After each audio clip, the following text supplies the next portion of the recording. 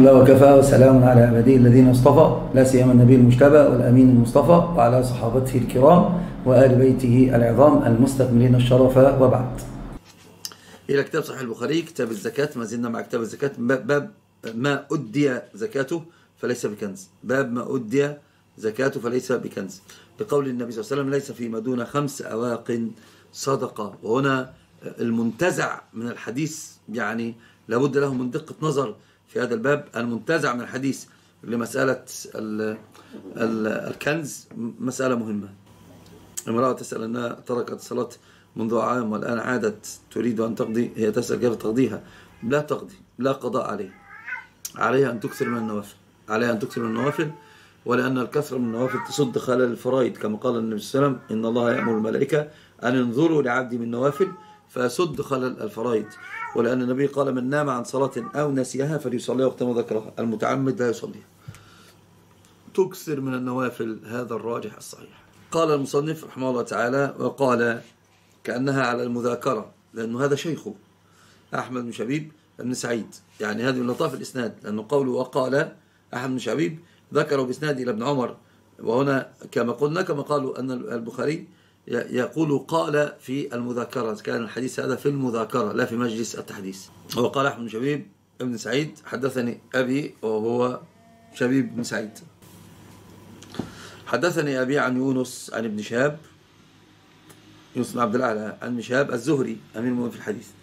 خالد بن أسلم من الثقات قال خرجت مع عبد الله بن عمر رضي الله عنهما فقال أعربي أخبرني قول الله تعالى والذين يكنزون الذهب والفضة ولا ينفقونها في سبيل الله قال ابن عمر رضي الله عنهما من كان من من كزن كنزهما كنزها من كنزها فلم يؤدي زكاتها. يعني الكنز أن لا يؤدي زكاتها.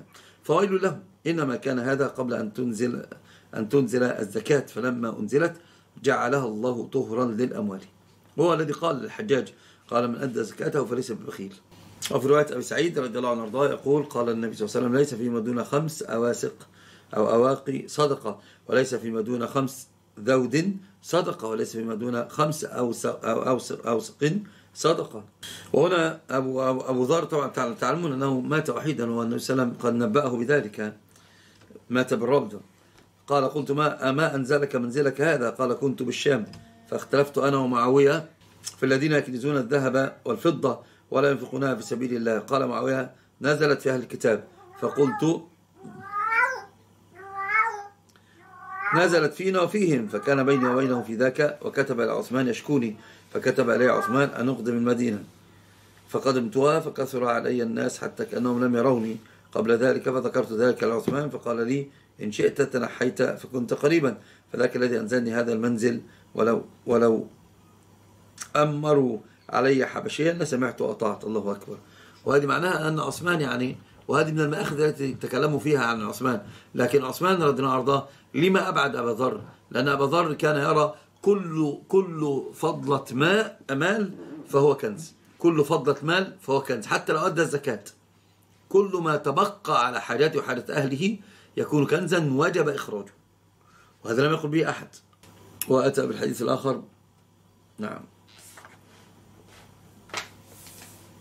عامة هذه هذه الترجمة خلينا نشوف الترجمة والحديث الأول في الكلام عليه في هذا الباب. هذه الترجمة ما ما أدي زكاته فليس فليس بكنز. الترجمة رواها أبو ذر وأبي حسن من بدل ما, ما من بدل من ما. فليس بذي كنز. وهذه الترجمة يعني فيها تطبيق الحديث الذي أخرجه البخاري على الحاكم مع البخاري عن أم سلمة ما بلغ أن تؤدي زكاته فزكي فليس بكنز. كأنه يقول أن إذا بلغ الماء النصاب احتمل أن المواساة صار صار كنزا إن لم إن لم يؤدي زكاته. وهذه معناها أن ما كان يملكه المرء أقل من النصاب ليس ليس بكنز. الكنز ما بلغ نصابا الكنز هو ما بلغ نصابا فإذا بلغ نصابا وجب عليه الإخراج فإن أخرجه فليس بكنز. وهذا مقصود الإمام البخاري. فتفهموا من الحديث أنه لو كان كنزا كان معياره ليس فيما دون خمس أواق صدقة.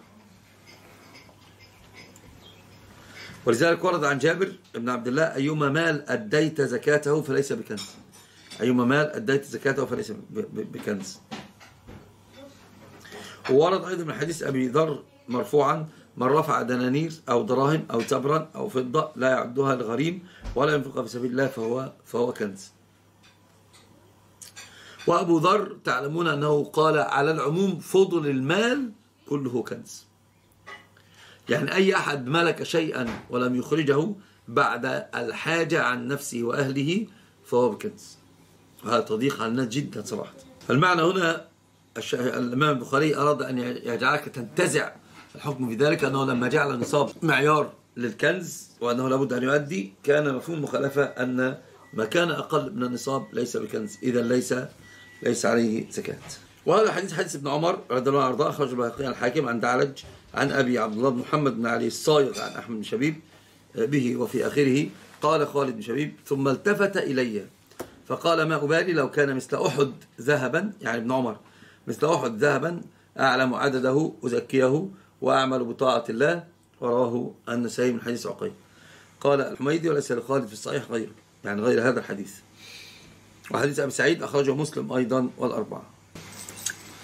والحكم الحديث الأول حكم الباب في هذا الحديث في الآية الذين يكنزون الذهب والفضة. الكنز في كلام العرب قال الطبري كل شيء مجموع بعضه إلى بعض في بطن الأرض أو كان على ظهرها. وكذلك تقول العرب لشيء مجتمع مكتنز لانضمام بعضه إلى بعض. واختلف علماء السلف في معنى الكنز فقال بعضهم هو كل مال وجبت فيه الزكاة فلم تؤدي زكاته فهو كنز. وهذا أقرب الأقوال للصح. كل مال بلغ نصابا فلم يؤدي صاحبه فيه الكنز فهو فيه الزكاة فهو كنز يحاسب عليه. والدليل على ذلك أن النبي صلى الله عليه وسلم قال لأم سلمة عندما سألته عن حلي تتحلى به قال ما أديت زكاته فليس بكنز.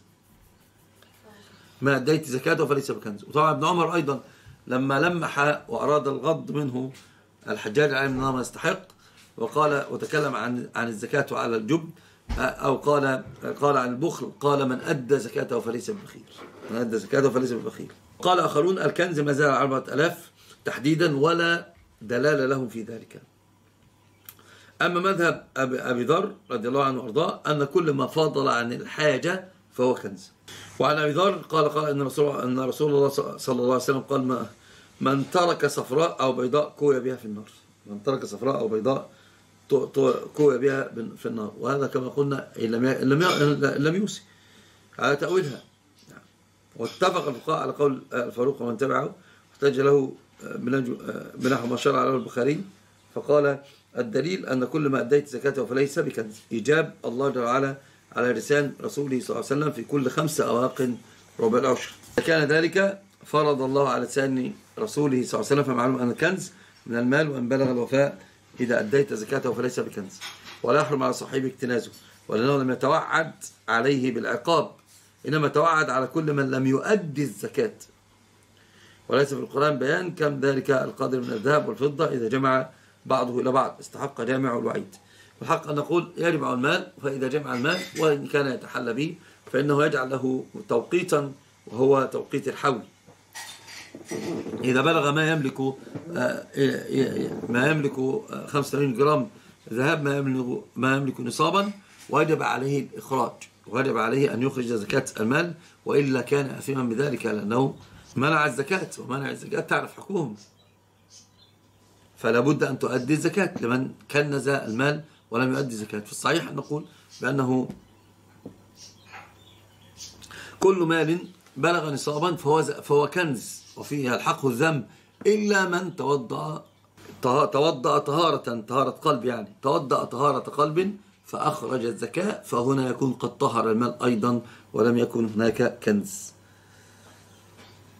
ولأن الله تعالى توعد بعقاب الذين يكنزون الذهب والفضة وينفقونها في سبيل الله فبشرهم بعذاب أليم. يوم نحن في النار الجنة فتكوى بها جبههم وجنوبهم هذا ما كنستم لأنفسكم فذوقوا ما كنتم تكنزون. فتكون هنا المال طهارة الطهارة المعنوية هو إذا بلغ المال نصاب وعلم أنه بلغ النصاب يؤدي زكاته ربع العشر. قال ابن عمر في قولي والذين يكنزون الذهب والفضة وينفقونها في سبيل الله فبشرهم بعذاب أليم. وابن عمر قال من كنز فلم يؤدي زكاته فهو له فويل له. إنما كان هذا أن تنزل قبل أن تنزل زكاة. والمعنى لما نزلت زكاة احتاجت لمعيار والمعيار هو خمسة أواسق. ليس دون خمسة أواسق أواقي زكاة. ليس فيما دون خمس أواق ذهب زكاة. الزكاة فيما كان فوق ذلك. وفيها دلالة الاقتران أن يكذون الذهب والفضة ولا يبغون في سبيل الله. فبشرهم من أليم. دلالة الاقتران من الذهب والفضة. نعم. يظهر اتحاد الحكم. ومعاوية كتب كتابه شكاية في أبي ذر. فقد كان كثير الاعتراض عليه والمنازعة له فوقع في جيش التشتيت من ميل بعضهم إلى قول أبي ذر. فلذلك عثمان قد بعث لي أن يقدم علينا المدينة حتى خشى الفتنة في الشام ببقائه ولما جاء هو الذي نفاه إلى الربذة وهذا مسألة عيوم مقاصد الشريعة هي التي تتحكم في ذلك. نقف عند الكلام الحديث الأول. إن شاء الله تباعا يأتي الكلام على الأحاديث. حديث الباب في مانع الزكاة. وإثم مانع الزكاة. مرة سمعتكم قلتم إن إن الإصلاح بين الناس لا يحتاج إلى نية أو هكذا. فإن بفضله واستفسرتم يقول لا خير في كثير من اليوم. كيف فكيف لا يحتاج إلى نية؟ والله يقول ومن يفعل ذلك ابتغاء مرضات الله أرجو تصحيح فهمي. طبعا أخطأتم الفهم. نعم أنا قلت الإصلاح لا يحتاج إلى نية لأن الله قال لا خير في كثير من اليوم إلا ما أمر صدق أو معروف أو إصلاح بين الناس. إلى هنا. فإن فعله بغير نية فاز وحاز السبق. لكن إن فعله بنية كانت كان الأجر أضعاف مضاعفة. لذلك قال من يفعل ذلك ابتغاء مرضات الله. هذه زيادة. هذه زيادة. فالأولى لا نية فيها. الثانية قال والأكمل والأعظم أجرا والأوفر حظا هو أن ينتوي في ذلك سبحانك اللهم ربنا وبحمدك أشهد أن لا إله إلا أنت أستغفرك وأتوب إليك. والله يدعو إلى دار السلام ويهدي من يشاء إلى صراط مستقيم.